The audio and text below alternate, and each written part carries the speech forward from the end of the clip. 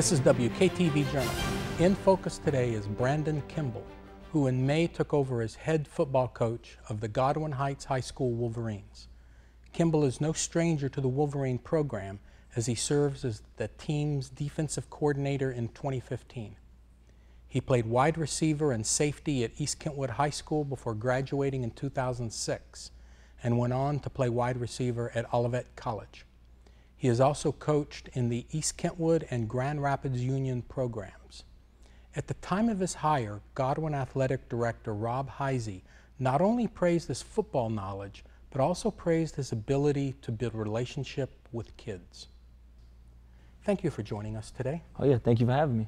So I want to want to start there. Uh, your athletic director, um, with what your athletic director said about you and your your uh, working with kids. There's a saying on a T-shirt that I, I saw for your program that states that wins start in the classroom, the weight room, and character. Making all those things happen involves things not on the foot, football field. Right, um, right. What is your philosophy in building relationship with kids?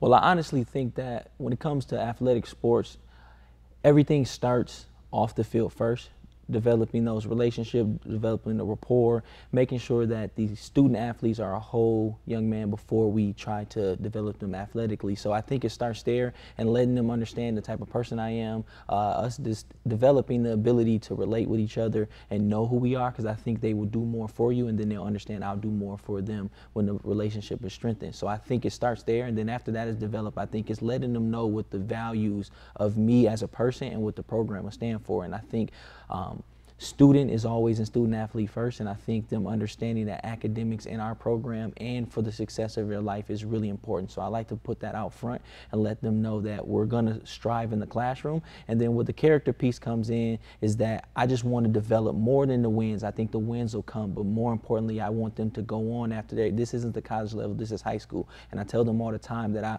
they're going to go on to be husbands they're going to go on to be entrepreneurs they're going to work they're going to be in the community. So i want them to go on to be strong young young men uh, first and foremost. And then the wins will come along that we can celebrate championships down the road, but I want to celebrate championships down the road with good character young men when they become adults. So I think that's where we kind of focus in our program.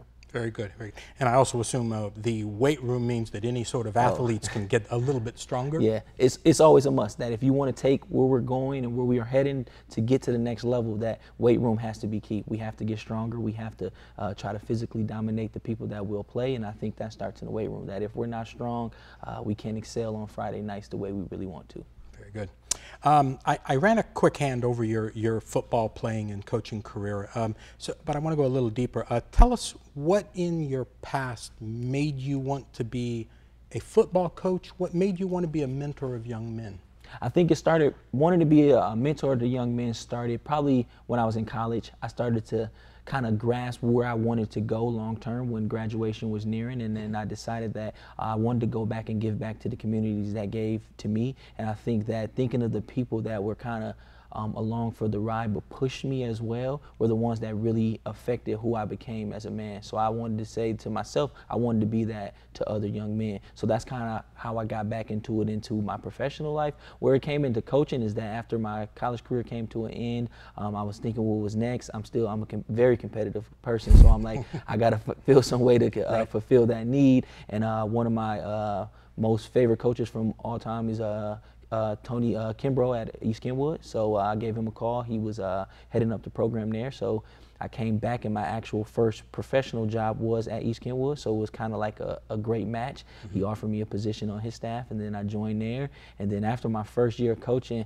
I kind of fell in love with it. I actually enjoyed it more than playing. And I thought that would never be the way. Mm-hmm. So after I fell in love with it the first time, um, then I was like, oh yeah, this is what I want to do kind of with the rest of my time. Very good. I, have always, I've heard it said before that playing wide receiver on the football field is a lot like being a catcher on a baseball field. You have to understand mm-hmm. everything that's going on, yes. not not just you know what the the what you're going to do next. Right. Do, do, do, you think that wide receivers uh, sometimes make uh, good coaches? Yeah, I, I, would say so myself, or yep. at least hope so. Um, yep. I think what it does is that position um, you have to focus on what the defense is doing, where they're lining up. You have to understand what the quarterback is thinking, even when it's not said to you. So you kind of have to be able to understand what's happening and what's going to happen next. And then you're always out from um, the offense and the defense, so you're spaced out, so you're seeing it from a far view. So I look at it like the receiver position was kind of uh, my transition to being from the sideline, really watching the game from a little far off and seeing it, the, it playing from the inside and seeing how I can affect it from my vantage point. So now I take that same mindset when I'm on the sideline of I'm viewing it from a little ways out, but mm-hmm. how do I take what I want to happen in inside the game and um, affect what's going on and what's going to happen play to play. Very good, very good.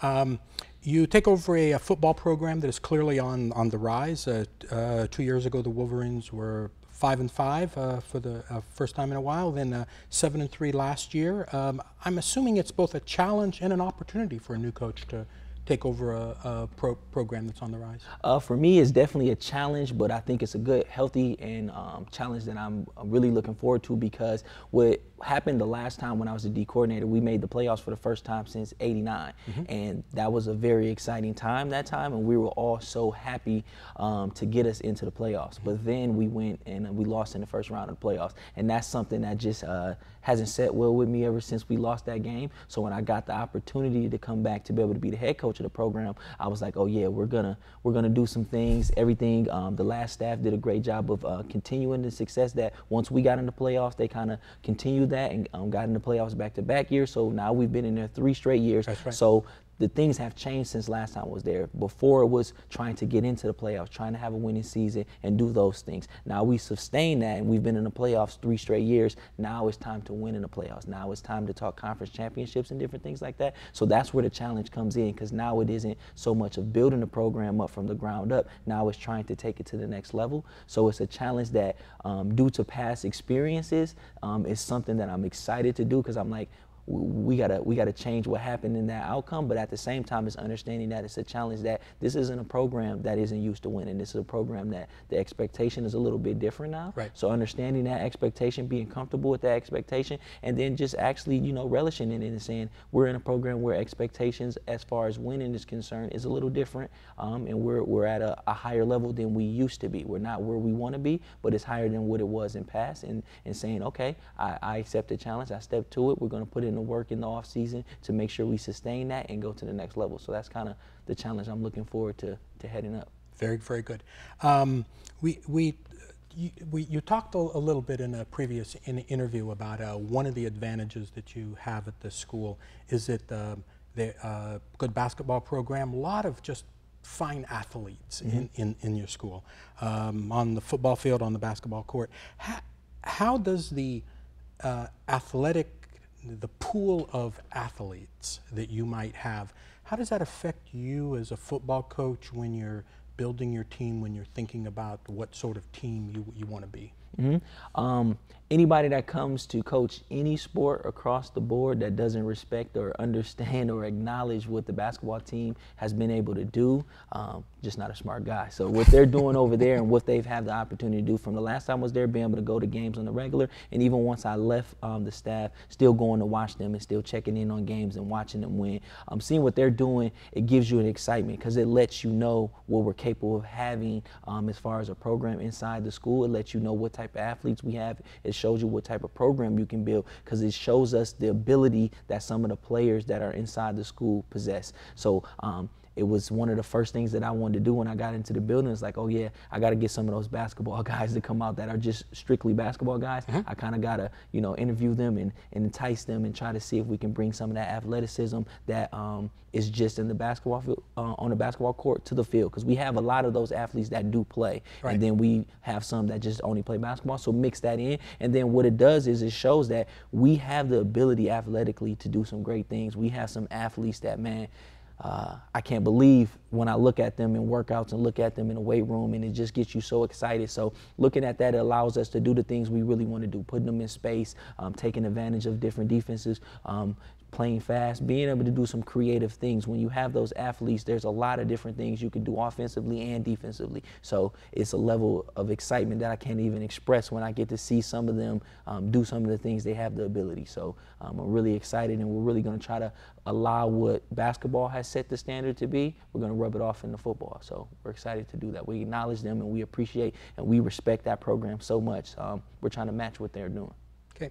Uh, last thing I wanted to wanted to is uh, um, give give us some idea. You've got a got a some uh, uh, Wolverine fans here, Mm-hmm. uh, and uh, uh, tell t- tell them what what's what sort of of game, what what what sort of offense, defense, what what are they going to see this fall?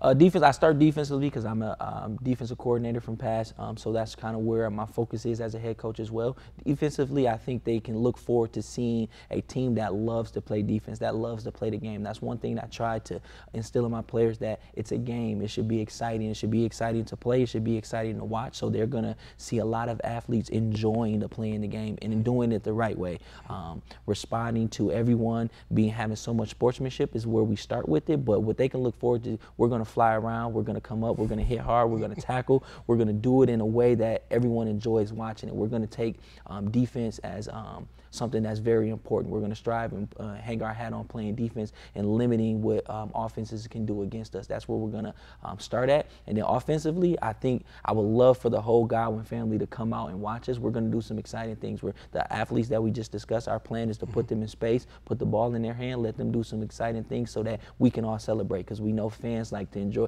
Fans enjoy touchdowns. They may not enjoy tackling and sacks as much as they do touchdowns. But You, you were talking about titles. you know well, I well, mean? wins that's titles. what that's what they want to do. Defense wins championships, Yep. but uh, offense fills the stand. So we're gonna do some things that are gonna, I think, Godwin uh, faithful will be excited to watch. They're gonna see some kids flying around. We have a lot of speed. We're gonna put them on the edge. We're gonna use them to our advantage, and it's gonna be a fun game to watch. Very good.